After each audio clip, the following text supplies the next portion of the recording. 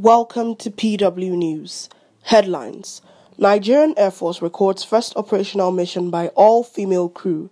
Protests across Nigeria as cases of rape increase.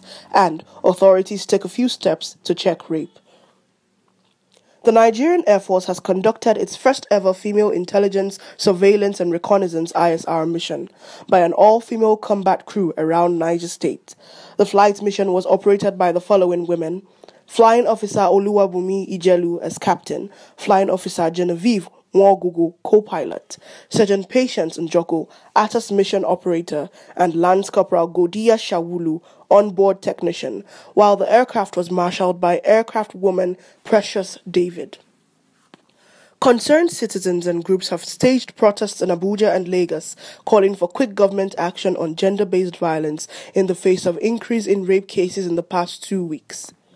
Cases include a 70 year old in Ogun, an 85 year old in Niger State, Barakat Bello, who also died, Tina Ezekwe, Jennifer, and an unnamed 12 year old in Aja, Lagos, as well as another unnamed 12 year old in Jigawa State, said to have been separately raped by 11 men and others.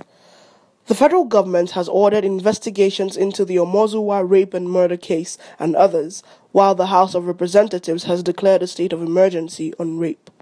Force headquarters of the Nigerian police has, among other things, taken over the Omozuwa case, while the Jigawa State Police Command says it has arrested the 11 men who allegedly raped a 12 year old girl in the state.